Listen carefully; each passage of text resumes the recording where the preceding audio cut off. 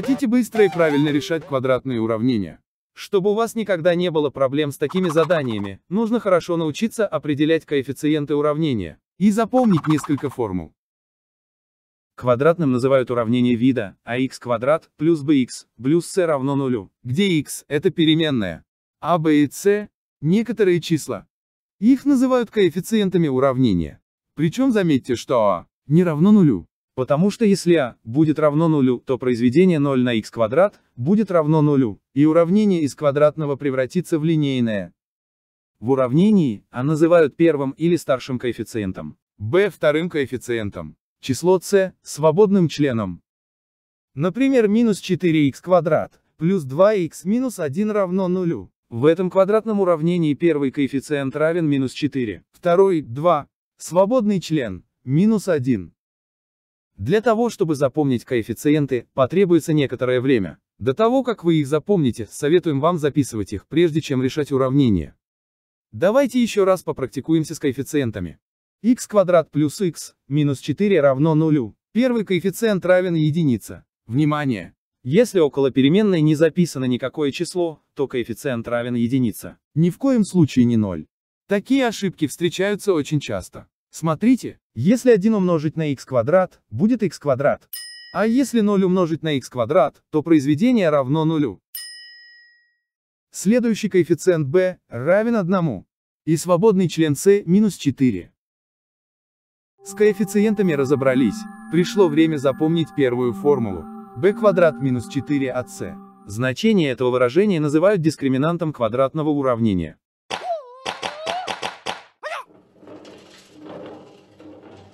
От знака дискриминанта зависит, существуют ли корни квадратного уравнения и сколько их. Если дискриминант меньше нуля, то квадратное уравнение корней не имеет. Если дискриминант равен нулю, то уравнение имеет один корень, он равен минус b разделить на 2. Если дискриминант больше нуля, то квадратное уравнение имеет два корня. x1 равняется минус b плюс корень квадратный из дискриминанта разделить на 2 x2 равно минус b минус корень квадратный из дискриминанта, разделить на 2.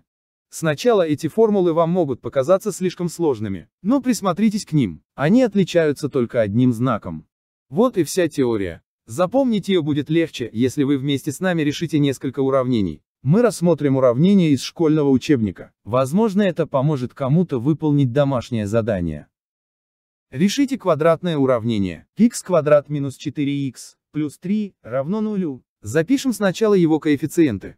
а равно 1, b минус 4. Сразу запишем коэффициент минус b. Он равен противоположному числу 4. Коэффициент c равняется 3.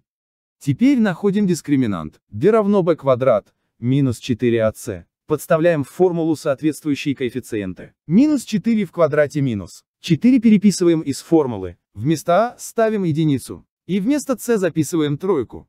Внимательно находим значение выражения. 16 минус 12 равно 4. Дискриминант больше нуля, поэтому уравнение имеет два корня.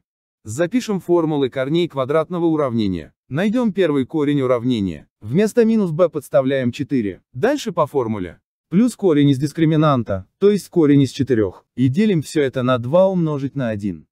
Корень из 4 – 2. Вычисляем. 6 разделить на 2 будет 3.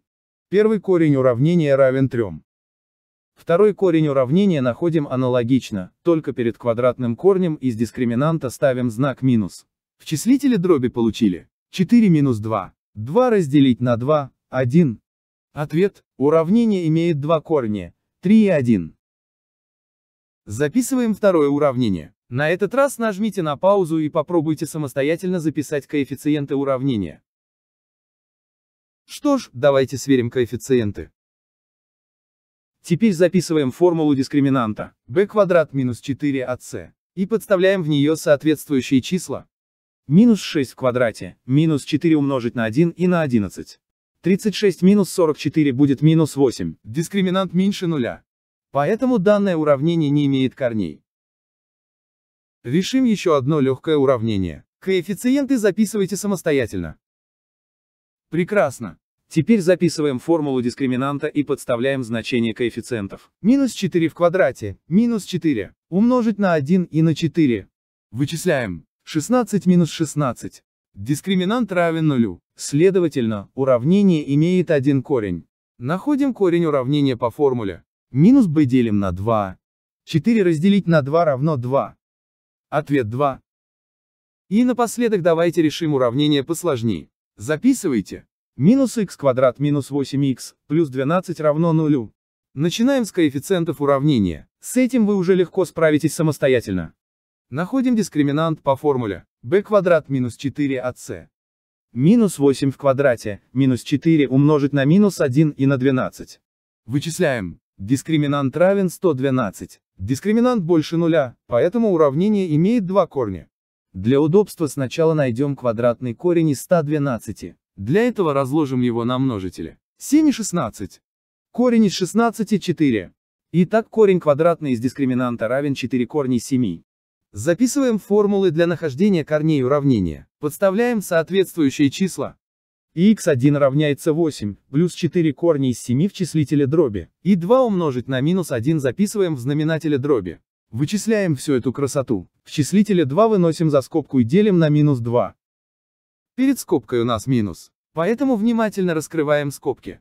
Первый корень уравнения равен минус 4, минус 2 корня из 7. Найдем x2.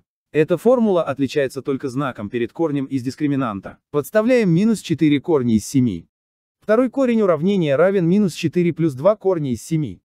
Поскольку ответы отличаются только знаком, то можем их объединить. x1 и 2 равны минус 4, плюс минус 2 корня из 7. На сегодня закончили. Отлично справились.